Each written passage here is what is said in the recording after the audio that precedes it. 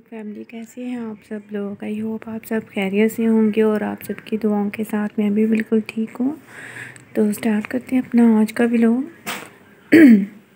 यहाँ पे सुबह सुबह हम घर का सामान ख़त्म हुआ और तो बाबा ये ग्रोसरी करके लेके आए थे। ऑयल कैचअप सवैयाँ एग और चिली सॉस मेरा सूप बनाने का इरादा था तो मैंने उसका सामान भी साथ ही मंगवा लिया था सूप के लिए भी। अब क्योंकि सूप का मौसम आ गया तो डेली इंशाल्लाह ताला मैं अपने लिए सूप भी बना दिया करूँगी। डिफरेंट स्टाइल से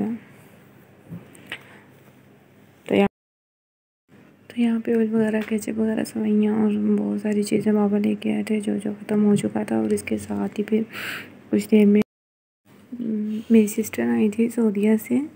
तो वो ये मेरे लिए गिफ्ट्स लेके आई हैं। बैग है मेरा हैंड बैग परफ्यूम ये अबाया था और साथ में एक सेपरेट स्काफ था।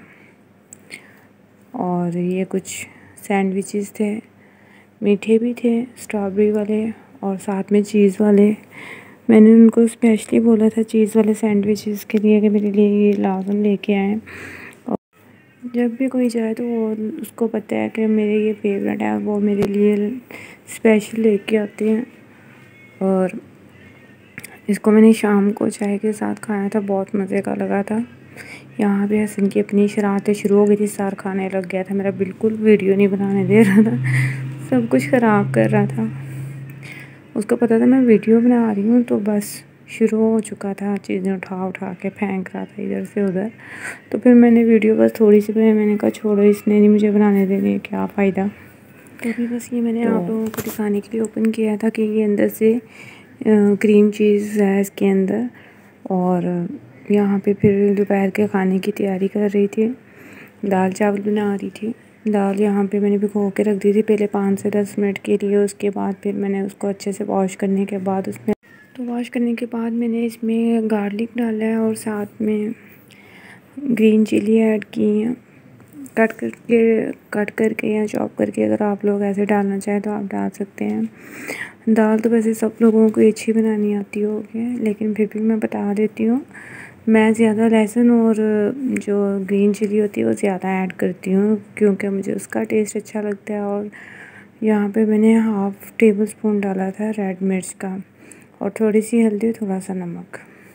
हंसपी जायका जितना आप लोग पसंद करें तो इसके बाद फिर इसको अच्छे से बॉईल आ जाए। जब इस दाल को जब भी आपने पकाना है तो उसको पहले हाई फ्लेम पे आप एक एक बॉईल आ जाए। उसके बाद फिर आप की दाल रेडी हो जाती है और फिर आप तड़का लगा लें उसको। लहसुन का, हम लोग तो लहसुन का लगाते हैं और उसके ये देखिए चटनी का कलर, माशाल्लाह कितना अच्छा लग रहा है।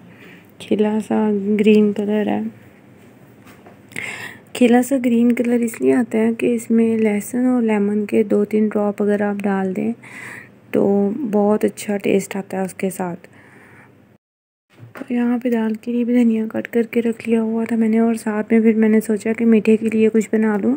शाम में खाने के लिए ताकि ठंडा हो जाए, क्योंकि आज हंड्रेड सब्सक्राइबर की मैंने अयान और बच्चों को सबको दावत दी थी। तो ये मीठे में बना रही थी मैं सवैयाँ वगैरह। लेकिन अयान का ये है कि उसको पूरा वीक उसको हंड्रेड सब्सक्राइबर का सेलिब्रेशन करना है।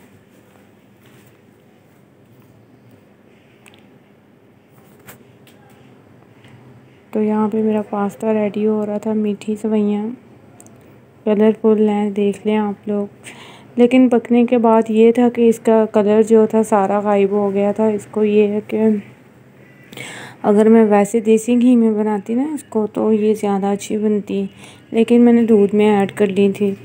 तो दूध के लिए वैसे तो मैं दूसरी लेके आती होती हूँ, जब खुद जाती हूँ तो दूसरी जो सिंपल होती हैं विदाउट कलरिंग तो वो, लेकिन बाबा खुद लेके आए थे तो फिर जो उनको मिली वो ले आए तो मैंने फिर वही बना ली।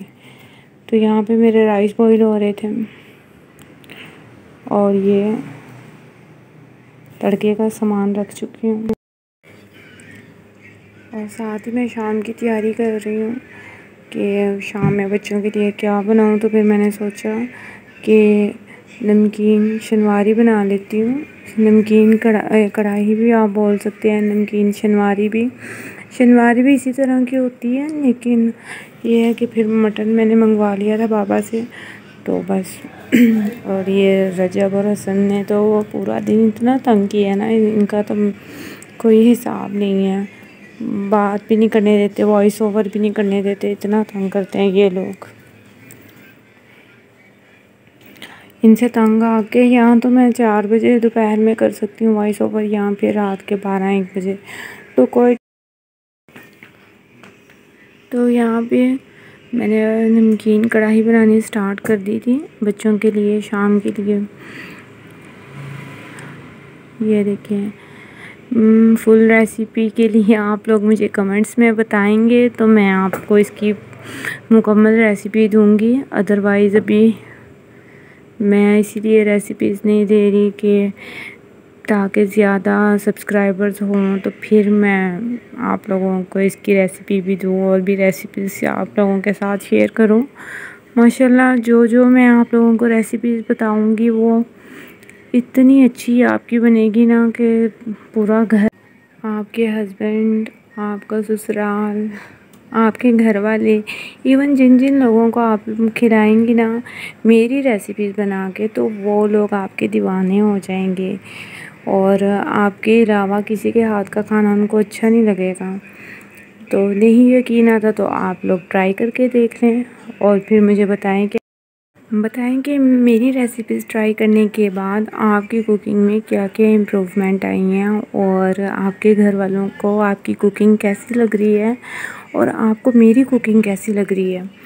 और जहाँ पे कहीं गलती हो जाए तो आप लोग मुझे बताएँ कि हाँ जी ऐसे करें। तो मैं इंशाल्लाह ताला वैसे भी करके देखूँगी तो देखेंगे ऐसे मिलके कि कौन ज़्यादा अच्छा खाना बनाता है, किसका टेस्ट ज़्यादा अच्छा है। और ऐसे चलती रहेगी ज़िंदगी। और यहाँ पे थोड़ा सा सॉल्ट मुझे कम लगा था, मैंने वो थोड़ा सा ऐड कर लिया था और लास्ट में इसके सिर्फ़ और सिर्फ़ ब्लैक पेपर ऐड करती हूँ मैं, क्योंकि ये सिंपल देसी घी, नमक और काली मिर्च की बनती है। और स्टार्ट में आपने सिर्फ़ नमक थोड़ा सा लहसुन और थोड़ा सा प्याज डालना है। अगर आपका मटन वन के जी है तो आपने just one and half onion डालना है, इससे ज़्यादा नहीं डालना। अगर बड़ा साइज़ है तो एक, अगर छोटा है तो आप डेढ़ से दो डाल सकते हैं। तो उसके बाद इसको रख दें पानी, दो से चार गिलास मैंने ऐड किए थे। तो जितना आपको लगे कि गोश्त अच्छे से इसमें पक जाएगा तो उतना और मीडियम फ्लेम पे रखा था। उसके बाद पानी उसका जब बिल्कुल ड्राई हो गया था तो मैंने उसमें देसी घी ऐड कर दिया था और उसके बाद अच्छी से इसकी बुनाई करने के बाद फिर मैंने इसमें सिर्फ़ काली मिर्च ऐड की है। तो इसके साथ ही हम अपने ब्लॉग को ख़त्म करते हैं। दुआओं में याद रखिएगा, अपना ढेर सारा ख्याल रखिएगा। आप लोग भी हमेशा मेरी दुआओं में शामिल रहते हैं। अल्लाह हाफिज़।